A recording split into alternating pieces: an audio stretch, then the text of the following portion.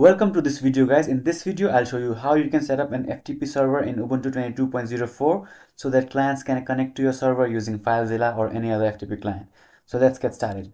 First, let's check our Ubuntu version. So as you can see, I'm on Ubuntu 22.04. Now let's update our repositories. So the command is sudo apt update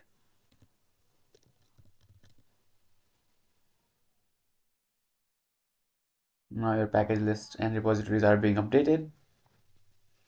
So once we have updated our package list now let's install vsftpd now it will help to set up ftp in our ubuntu system. So the command is sudo apt install vsftpd hit enter. And it will ask you do you want to continue? Type y and then hit enter again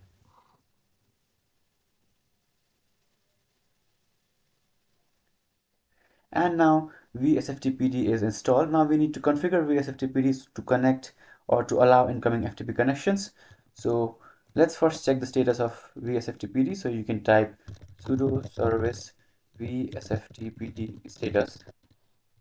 So right now it is not running right? So what you can do is you can just type sudo service vsftpd start hit enter and now vsftpd service will start also what you can do is you can do sudo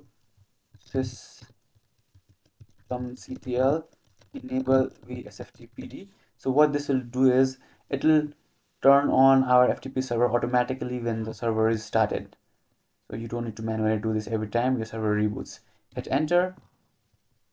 Okay so now we, that we have our ftp server started and we have enabled our ftp server.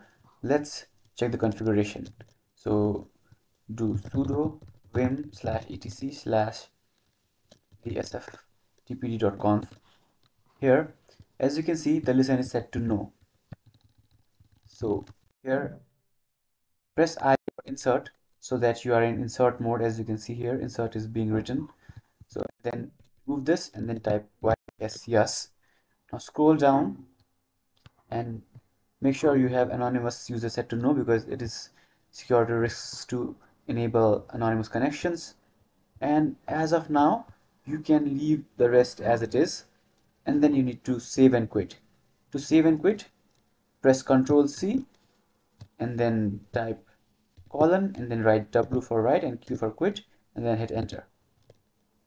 Okay so now we have set up our ftp server. Also let's create a user for our FTP server. So let's say we want to create a user. So command is sudo add user. Let's call it FTP user. Hit enter and enter the password here. Okay, I think the password is uh, wrong. So let me try again. So at this time the password was set correct correctly. Enter a full name. You can leave these empty. And when it asks you is the information correct? type y and then hit enter.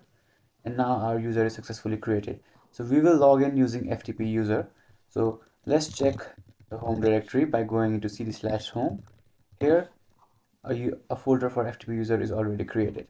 So we have a user now and we have our ftp server running so to make sure that you have ftp server running again you can check sudo service vsftpd status. So as you can see ftp server is running. Now to check on what port you are running you can do sudo netstat tnlp. Okay netstat is not installed in my system. Ftp server connects on port 21 so in filezilla you will have to enter the ip address of this server as host and then user and password that we just created and the FTP port is 21. In the next video, I'll show you how you can connect to this server using FileZilla. If you have any questions, let me know in the comments below.